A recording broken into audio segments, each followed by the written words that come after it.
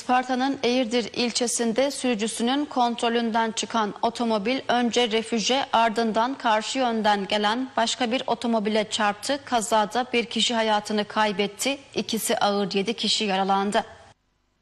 Isparta'nın Eğirdir ilçesinde iki otomobilin çarpıştığı kazada bir kişi hayatını kaybetti. İkisi ağır 7 kişi yaralandı. Edinilen bilgilere göre kaza sabah saatlerinde Eğirdir Yazla Mahallesi Dağ Komando Okulu kavşağı yakınında meydana geldi.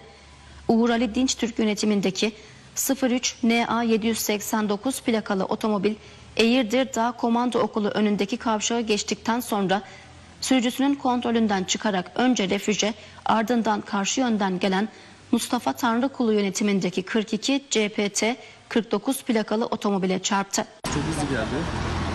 Karşı taraf duvara çarptı. Duvara çarptıktan sonra bu tarafa geçti. Arkamdaki aracı çarptı. Kazada sürücü Uğur Ali Dinçtürk olay yerinde hayatını kaybederken her iki otomobilde bulunan ve yaralanan 7 kişi olay yerine gelen ambulanslarla Eğirdir Kemik Eklem Hastalıkları Hastanesi'ne sevk edildi. Yaralılardan ikisinin durumunun ağır olduğu, hayati tehlikelerinin devam ettiği ve Isparta'daki hastanelere sevk edildikleri öğrenildi. Kaza yerindeki incelemenin ardından Uğur Ali Dinçtürk'ün cenazesi morga kaldırıldı.